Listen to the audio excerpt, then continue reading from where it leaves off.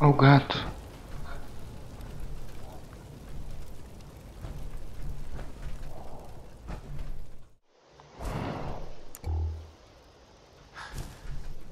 E você, gatinho? Luna? Não se mexa. Está tudo bem. Ah, mano, ela correu.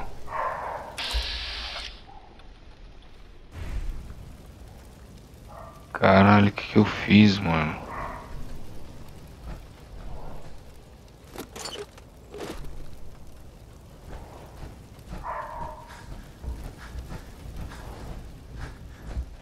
Caralho, se eu tivesse algum companheiro agora ali, era rápido pra ela morrer. Ai, Jesusinho, vamos deixar esse assentamento aqui funcionando e vai ser a última coisa que a gente vai fazer no Coward por enquanto.